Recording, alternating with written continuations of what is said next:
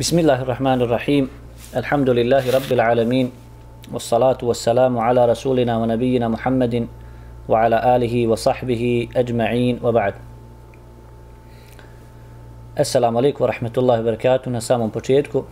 Mi se nalazimo dakle u ciklusu predavanja komentarisanja 40 nevevijih hadisa.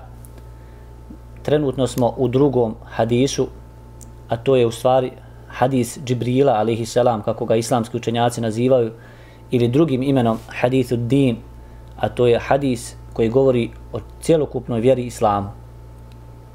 I zaista, mi smo pročitali ovaj hadis i na arapskom jeziku i na bosanskom u prijevodu i vidi, mogli ste dakle primijetiti dakle da ovaj hadis upravo govori o cjelokupnoj vjeri islamu.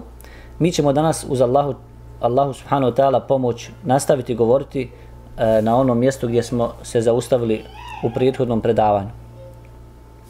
Kazali smo da je spomenuto u hadisu da je poslanik sallallahu alaihi ve selleme rekao nakon što je bio upitan u islamu ahbirnijan ili islam od čovjeka rekao je poslanik sallallahu alaihi sellem islam je da svjedočiš da nema drugog boga osim Allaha i da je Muhammed Allahu poslanik da obavljaš namaz daješ zekat postiš Ramazan i da obaviš hađ ako si u mogućnosti.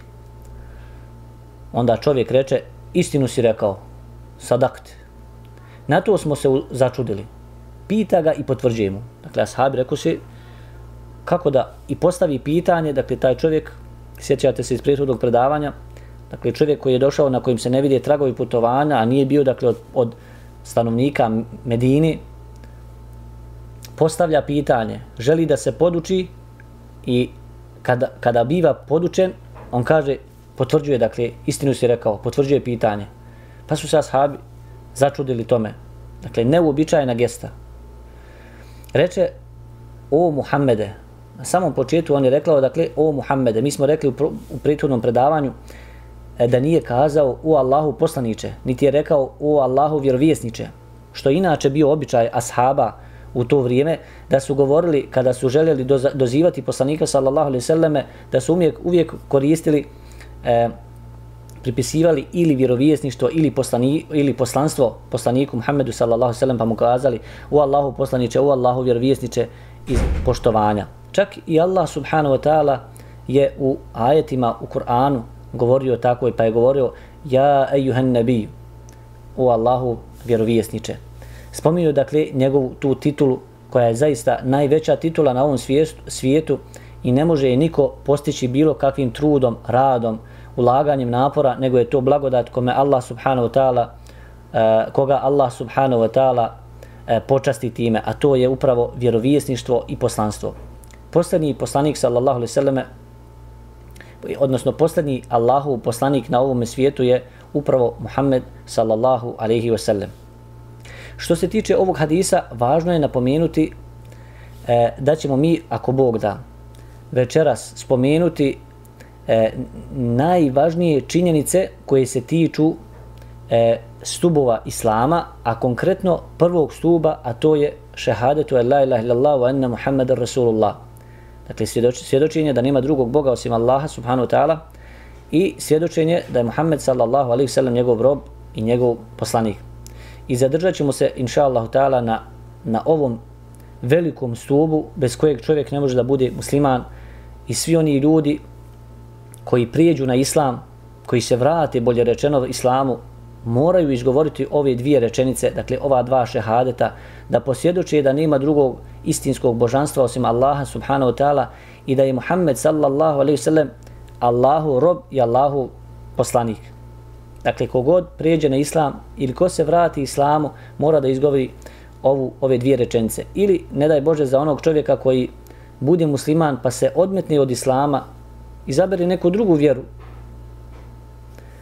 Ako želi da se vrati ponovo u islam, mora da izgovori ove dvije e, rečence rečenice o kojima smo već nešto spomenuli.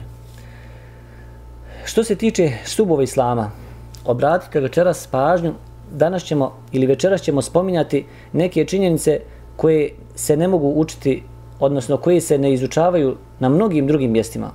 Ako pogledate kada su određene tribine u našim, e, našim gradovima, tribine uobičajeno govore o nekim drugim temom, temama, govore o, o, o sudnjem danu, govore o, e, o onome šta nas čeka na onome svijetu, govore teme, e, e teme, teme tribina o iskrenosti koju čovjek treba da zadobije na ovome svijetu, govori o dobročinstvu prema roditeljima, e, o dobročinstvu prema rodbini, o iskrenosti prema svojoj braći i svojim sestrama, o udav, e, dijeljenju e, sadake i tako dalje i tako dalje. Dakle, to su otprilike teme one što bi e, što islamski učenjaci nazivaju mev'ida ili vaz, a i mi na bosanskom kažemo vaz, vazio nam nešto efendija, vazio nam nešto profesor i tako dalje. Dakle, to su tebe koje se obrađuju na tribinama, na određenim predavanjima, u džamijama i tako dalje. Međutim, rijetko je, bar iz mog iskustva, e, rijetko je naći e, prostor i mjesto i vrijeme da se da neko podučava dakle ovim stubovima islama nešto detaljnije sa dokazima posebno za za odrasle osobe stoga ćemo mi kroz izučavanje ovog drugog hadisa koje je imam Nevovi spomenuo dakle u svojih 40 nevevijih hadisa i spomenut dakle nešto detaljnije pa pokušajte nešto od toga da zapamtite i pokušajte još bolje da nešto i zapišete od onoga jer to su krucijalne stvari u islamu. Onaj ko bude savladao ove činjenice, a znajte da mnogi muslimani ovo ne znaju, a vidjet ćete u toku predavanja uz Allahu subhanahu ta'ala pomoć koliko je činjenica koje možda čak i vi niste znali, a koliko je samo muslimana koji apsolutno ne znaju. Kada kažemo čovjeku, e, reci nam koji su to ruknovi, koji su to stubovi, la ilaha illallah, Bez čega ne može da bude bez čega ne možeš da budeš musliman? Koji su to ruknovi, koji su to šartovi ili uslovi da za svjedočenje Muhammedu Rasulullah, da je Allahu, da je Muhammed sallallahu alejhi ve sellem Allahov rob i poslanik? Koliko nas to zna? Koliko je samo muslimana koji uopće znaju samo da nabroje te te ruknove i te šartove o kojima ćemo inshallah taala večeras spomenuti nešto ukratko? a spremni su isti ti muslimani koji ne znaju te osnovne stvari i osnovne činjenice i temelje svoje vjere, spremni su da raspravljaju, da pričaju o velikim stvarima svijeta i tako dalje. Dakle, spremni su da se e, da ulaze u velike stvari u oni, oko onih oko, oko kojih se islamski učenjaci ponekada i razilaze o, o, o, oko tema oko kojih islamski učenjaci ponekada e, zastanu, pa razmisli, pa se konsultuju jedni s drugima, međutim ovakvi naši pojedini, kažem muslimani, mada mislim da ih ima mnogo, spremni su da, da se e, upuštaju na taj, da kažem, klizav terijen, međutim, kada pogledamo s druge strane, da ne znaju osnovne propise svoje vjere. Poslušajte u nastavku, pa ćete vidjeti o čemu sam htio nešto da kažem. Što se tiče stubova islama, to je ono za sve one koji su prošli mektepsku nastavu u svim džamijama, dakle u Bosni i Hercegovini i širi, pretpostavljam i na drugim mjestima, mimo Bosni i Hercegovini.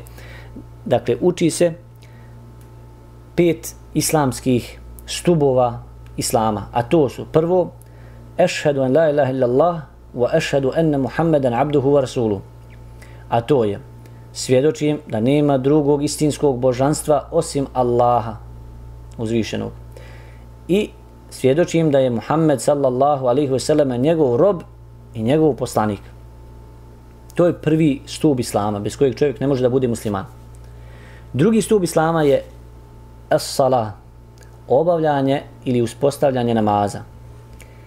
Treći stup islama je az-zakah ili davanje zekata. Četvrti stup islama ili temelj islama je savmu Ramadan, dakle post mjeseca Ramazana. I peti temelj Islama, el hađu men istata ilihi sabila, a to je da čovjek obavi hađ ili obavljanje hađa shodno mogućnostima.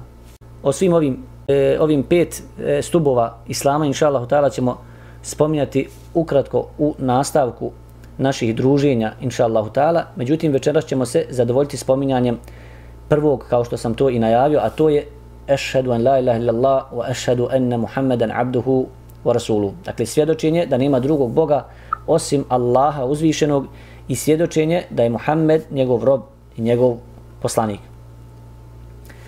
Šta se podrazumijeva, dakle, pod, pod, ovom, pod ove dvije rečenice, pod ova dva šehadeta. Ako vas, nemojte da vas buni ako neko kaže pod dva šehadeta, a u osnovi ste nekada čuli ranije kada neko kaže šehadet.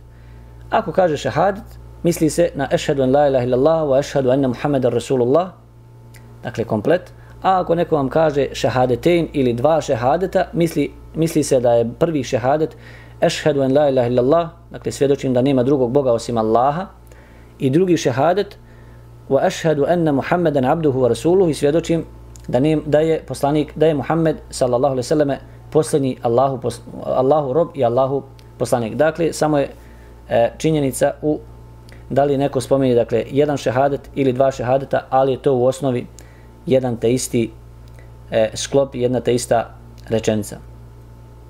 Pod ovim se podrazumijeva da čovjek smatra i riječima, dakle verbalno i srčano, da očituje da nema istinskog božanstva osim Allaha uzvišenog. Kada kažemo riječ šehadet ili svjedočenje, to podrazumijeva priznanje i potvrdu srcem, čovjek srcem to prizna i potvrdi, i izgovor riječima, jer je svjedočenje izgovaranje i obavijest onoga što se nalazi u čovjekom srcu. Stoga ako onaj koji, koji svjedoči prizna u srcu, a recimo bude nijem, nije u stanju da to izgovori, e, svjedočenje riječima, dakle, bit će, mu dozvo, bit će mu dovoljno priznanje srcem zbog nemogućnosti i nesposobnosti potvrđivanja riječima. Međutim, svjedočanstvo samo jezikom nije dovoljno, a dokaz tome jeste i što licemjeri, odnosno munafici, da nas Allah subhanahu wa ta'ala sačuva od toga, svjedoči Allahu jednoću ali oni to čini samo jezikom, bez prihvatanja srcem. Dakle, oni samo na jeziku kažu ešhedu an la ilaha ili kao što kaže Allah dželle u početku sura Al-Munafiqun, idha ja'al al-munafiquna qalu nashhadu innaka rasul innaka la rasulullah. Kada ti dođu munafici, kažu svjedočimo da si poslanik, da si Allahov poslanik. Dakle, i on to svjedoči dakle srcem, pardon, svjedoči jezikom, međutim ne prihvataju to srcem i to im neće koristiti na sudnjem danu. Tako su dolazili poslaniku sallallahu alejhi ve selleme potvrđuju, potvrđujući mu da oni svjedoče da je on poslanik, ali Allah subhanahu wa ta'ala i pored toga e, svjedoči da su takvi ljudi la, lažljivci kao što se kažem spominje odmah na početku sure El Munafiqun. Međutim, postavlja se pitanje. Mi smo, rekli smo da nema drugog, da, ka, da šehade znači nema drugog Boga osim Allaha, subhanahu wa ta'ala. Postavljamo pitanje, kako nema drugog Boga osim Allaha kad kršćani obožavaju Isusa? Kada mnogi drugi, kada o, budisti obožavaju Budu, kada mnogi ljudi u Indiji obožavaju kravu, obožavaju miša, obožavaju kamenje, međusije, dakle, oni e, ljudi koji obožavaju sunce, obožavaju sunce, to je njihov bog. Mnogi ljudi su idolopoklonici pa obožavaju kipa.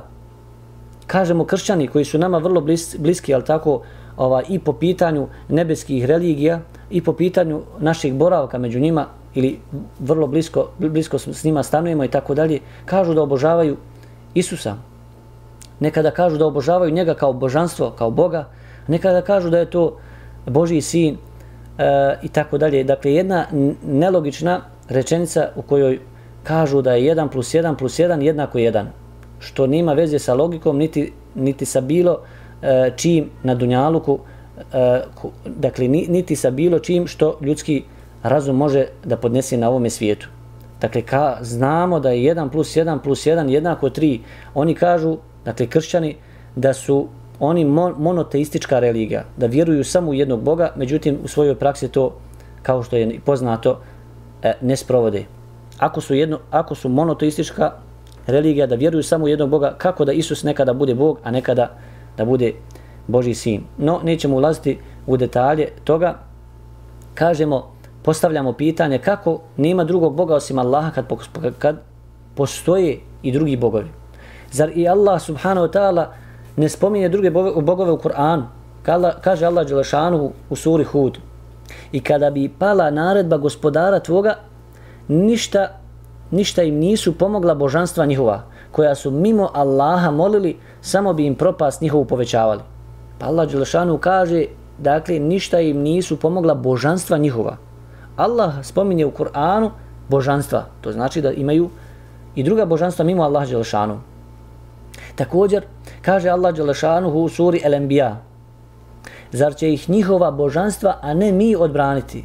Ona sama sebi ne mogu pomoći i niko ih od naše kazne ne može pod okrilje uzeti.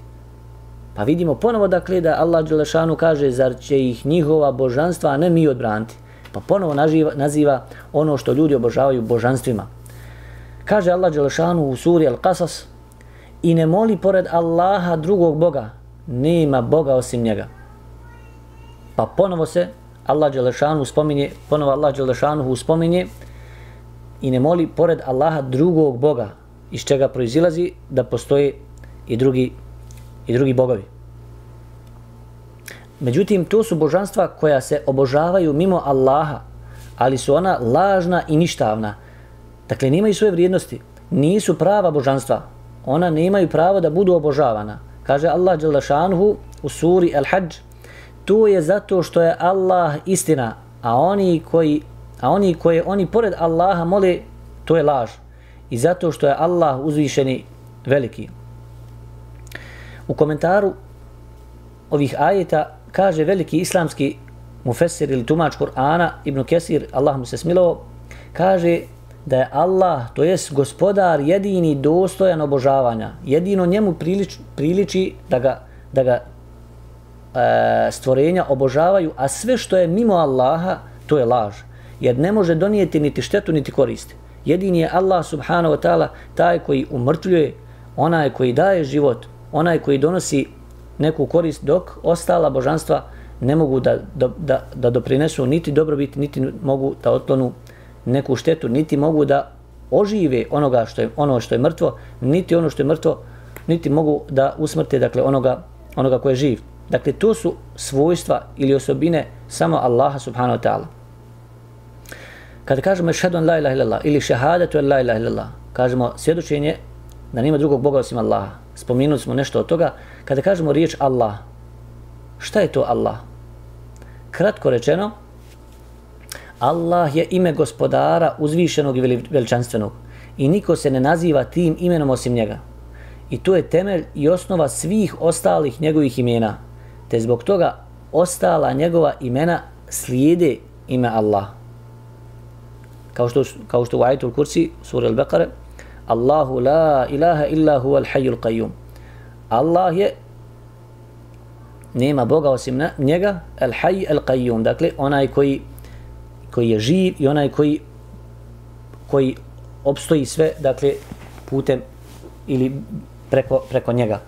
Pa vidimo dakle da El Hay, El Qayyum, dakle imena Allaha Đalešanuhu su posle, došla dakle posle riječi Allah i to su ona imena koja su koja su u opisu al, imena riječi, e, odnosno imena Allah. Postavlja se pitanje da li ovaj šehadet dakle, ešhedu en la ilaha illallah wa ešhedu enne Muhammeden Rasulullah, da li on uvodi čovjeka u islam? Kažemo potvrdan odgovor i to je ono što je poznato i ono što se uči u mektebima, čak i dok smo bili djeca. Dakle, ovaj šehadet uvodi čovjeka u islam. Čak ako bismo mislili da je izgovorio i prividno tražiti, tražeći čisto samo utočište i zaštitu. Pa čak ako bismo mislili da je izgovorio i lažno, u tom slučaju bit će zaštićen njegov život i mjetak. Dakle, poznato je dok su bili munafici za vrijeme poslanika sallallahu alaihi wasallame, da su izgovarali šehadet riječima, međutim, kao što smo i kazali, kao što je poznato iz definicije samih munafika, da oni ispoljavaju riječima, ispoljavaju u, u svojoj vanštini islam, ali u, u sebi kriju kufr i nevijestvo.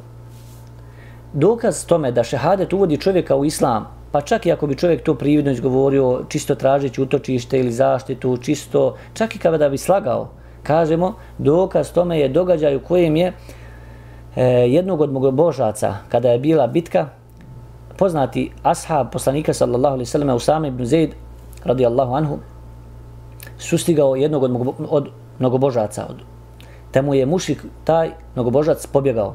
Nakon što ga je ponovo sustigao, zamahnuo je sabljom, a mnogobožac u tom trenutku reče La ilaha illallah, nema Boga osim Allaha. Ali Usama ga ubi misleći da je to izgovorio samo kako bi se spasio smrti. Potom je ot, otišao i obavijestio o tome poslanika sallallahu alaihi sallam, a on mu počeje govoriti, zar si ga ubio nakon što je izgovorio da nema drugog Boga osim Allaha?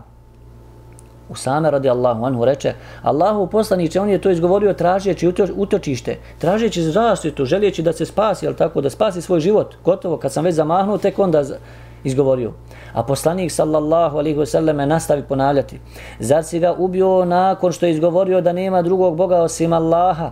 Zar si ga ubio nakon što je izgovorio da nema drugog Boga osim Allaha?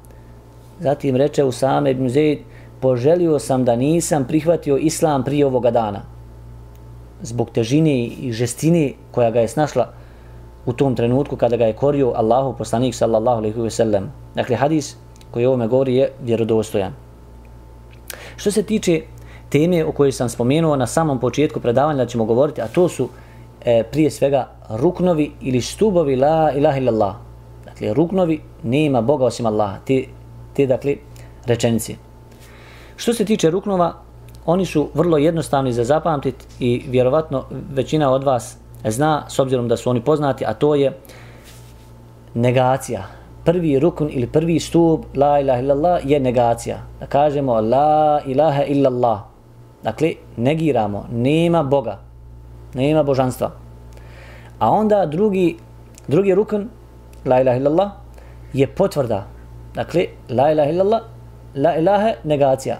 Illallah, pa potvrđujemo da je samo, dakle, Allah taj koji je Bog i koji je božanstvo. Pa kažemo, dakle, ruknovi ili stubovi la ilaha illallah su negacija, to jest nema Boga, i potvrda osim Allaha.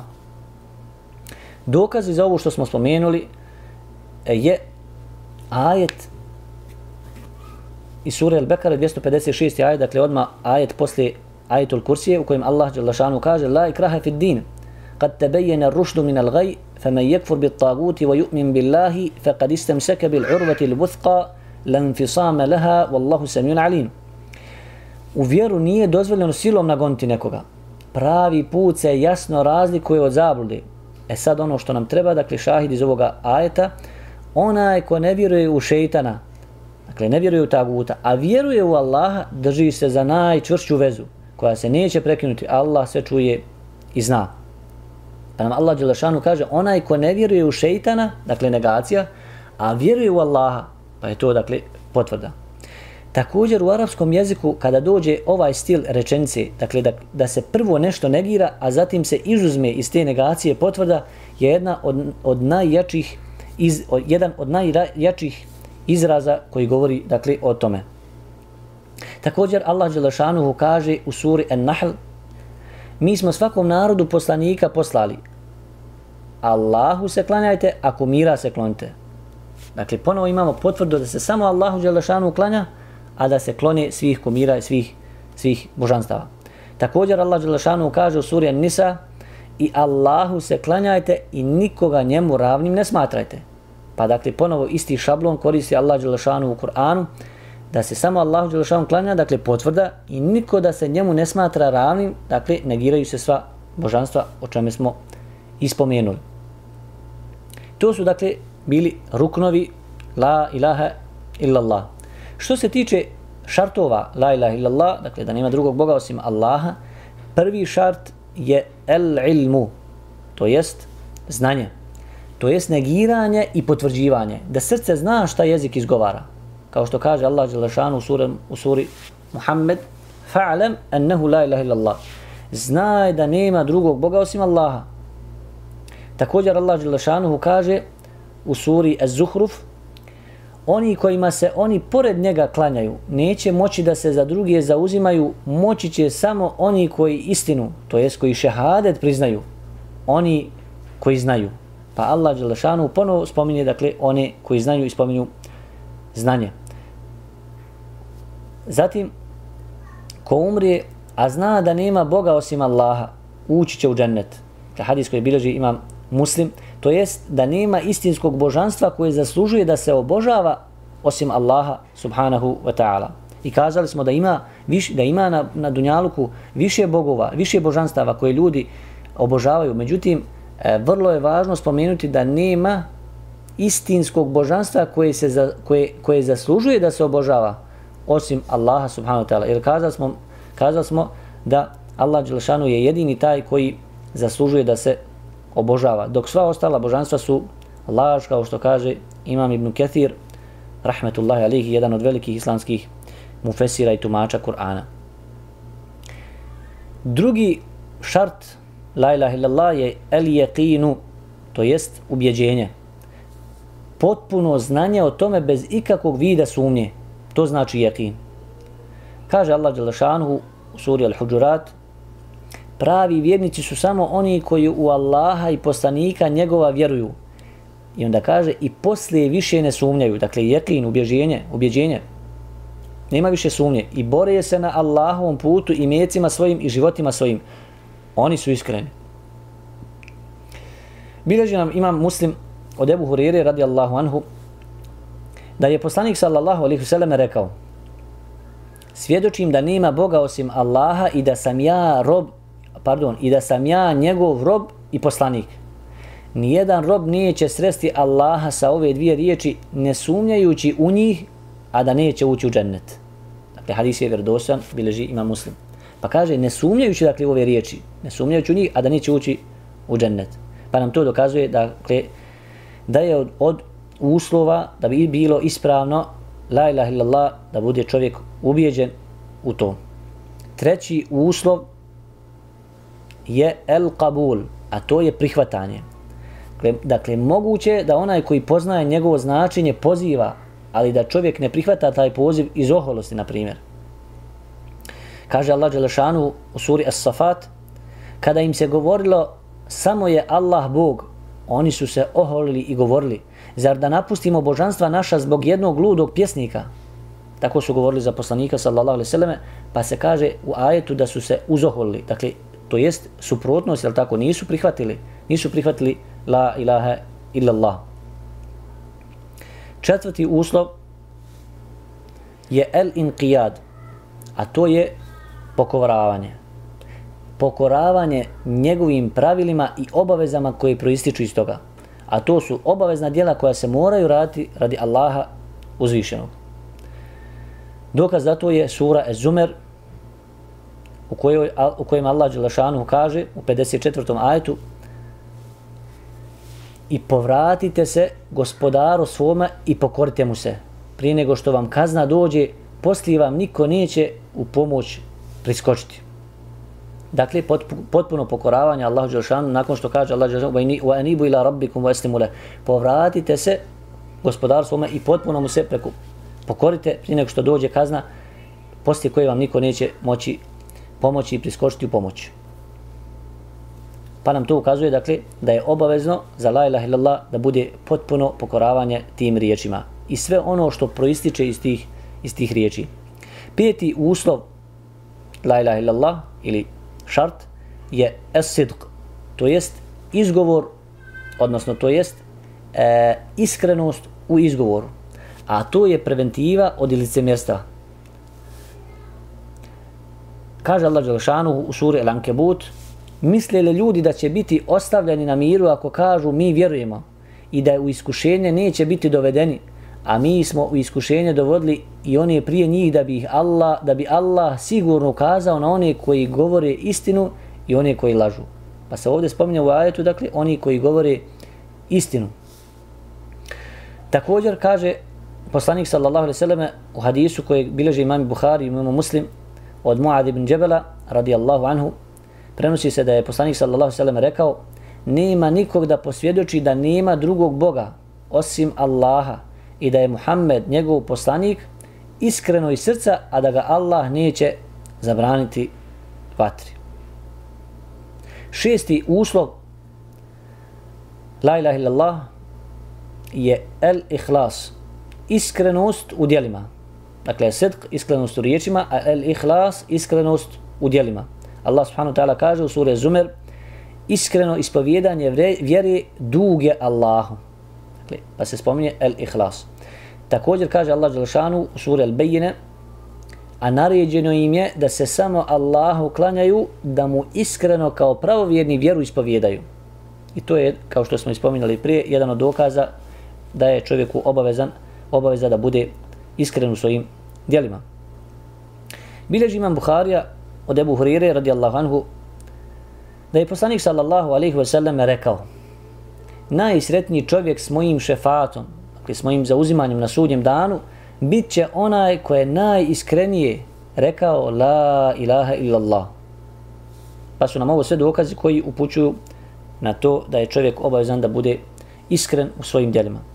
I sedmi i posljednji šart ili uslov da bi bilo ispravno riječi la ilaha illallah, a to su el mahabbe, to jest ljubav.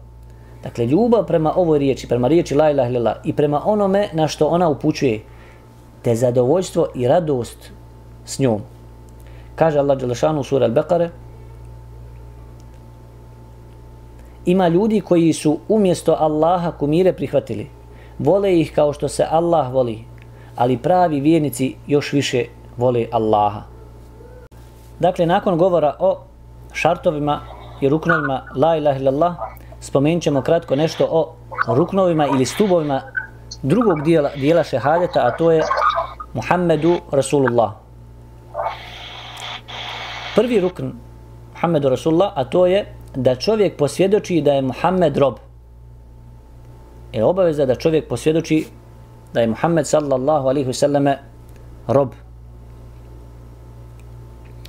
A to je upravo odgovor kršćanima. A to smo spominjali malo prije, da kršćani kažu da je u jednoj od verzija nekada spominju da je da je Isus, odnosno Isa alihi selam, da je on božanstvo, a nekada kažu da je Boži sin i tako dalje. Pa je ovdje u ovom ruknu Muhammedu Rasulullah obavezno da čovjek posvjedoči da je Muhammed rob Allahu. I drugi rukn je da posvjedoči čovjek da je Muhammed Allahu poslanik, a to je upravo odgovor židovima. Svjedočenje da je Muhammed Allahu poslanik, to je svjedočenje da je poslan svim stvorenjima, odnosno i ljudima i džinima.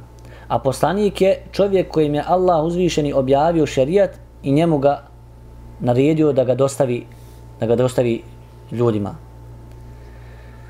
Jer prije, e, ljudi prije Nuh a.s. bili su jedan narod, te im nije bio potreban poslanik. Zatim su se razmnožili i počeli međusobno da se razilaze, pa su bili u potrebi za poslanikom. A onda im je Allah uzvišeni poslao svoga poslanika, kao što to kaže Allah uzvišeni u suri Al-Bekare. Svi ljudi su sačinjavali jednu zajednicu, pa je Allah slavo vjerovijesnike da donose radosne vijesti i, opom i opomenu. I po njima je slavu knjigu sa istinom, da po njoj sudi ljudima o onome u čemu su se oni razilazili. Pa su poslanici su dakle bili poslani onda kada su se ljudi počeli razilaziti kako bi im presudili po istine. Tako je prvi poslanik bio Nuh alaihi selam, a posljednji poslanik Muhammed sallallahu alaihi sallam. I obaveza je vjerovati da je on posljednji u nizu svih poslanika koji su, koji su bili prije. Greška je što neki tvrde da je prije Nuh alaihi selam bilo poslanika, jer Allah uzvišeni kaže u suri En-Nisa mi objavljujemo tebi, znači Muhammedu sallallahu alejhi ve Allah dželšanu se obraća poslaniku Muhammedu sallallahu alejhi pa kaže mi objavljujemo tebi kao što smo objavljivali Nuhu i vjerovjesnicima poslije njega. Dakle iz ovog ajeta razumiju isla, uh, islamski učenjaci su razumjeli da je Nuh prvi koji je bio poslanik.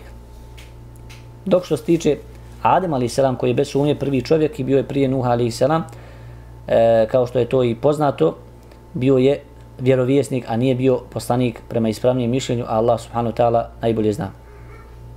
U hadisu o šefatu ili o zauzimanju na sudnjem danu rečeno je da će ljudi doći kod Nuha alaih selam te će mu reći ti si prvi poslanik kojeg je Allah poslao stanovnicima zemlje. Pa se dakle iz ovog hadisa također u, ovaj, spominje i hadis ukazuje na to da je Nuh prvi poslanik koji je bio na ovom na ovoj planeti.